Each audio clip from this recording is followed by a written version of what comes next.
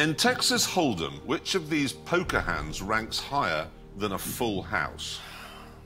Straight, two pairs, four of a kind, or flush? I am not a, card player at all.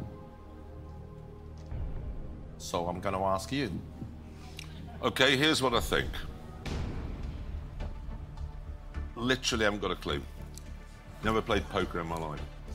I've watched poker so many times in films thinking, what are they doing? It always seems to be different rules, and I've certainly never heard of Texas Hold'em, so I'm of no use to you. Um, and that, I'm afraid, is my final answer. Okay.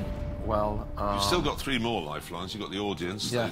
They, they may know. yeah, I will. I will because I know they like gambling in Manchester. That's a compliment, by the way. So I'm going to um, ask the audience.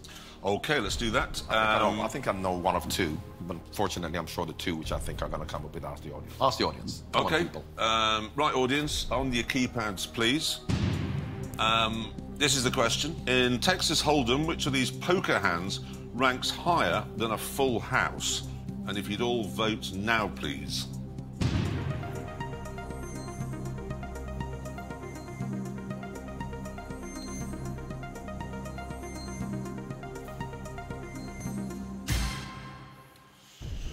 Right, well, you've got a majority, which is uh, one good thing, at uh, 57% for flush, 31 for four of a kind, and very little for the others. Well, I knew it was either going to be four of a kind or flush. I was kind of leaning to four of a kind because to get four of the same cards in one hand for me is fantastic. But I'm going to bow to the better knowledge, unless they really don't want Liverpool to do well and win the league and they want to get me out. However, I think I think that they are kind people, so I'm going to go for a flush.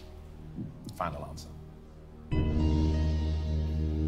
Once again, because I was involved in that, well, not at all helpful, but involved, I have to ask the computer to reveal the correct answer. If you do that now, please. You were right. You were right, and you're all morons. and I'm a moron. And I'm an special moron because I said don't set your safety net at 16.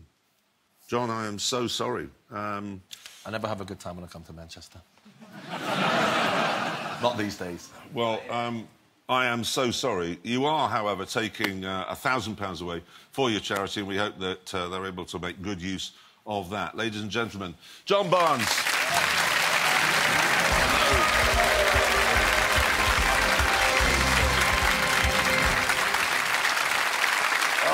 Dearie me.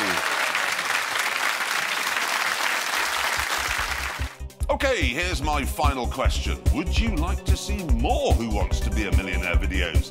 Then click subscribe and you're guaranteed to win. Granted, it's not a million pounds, but it could be worse.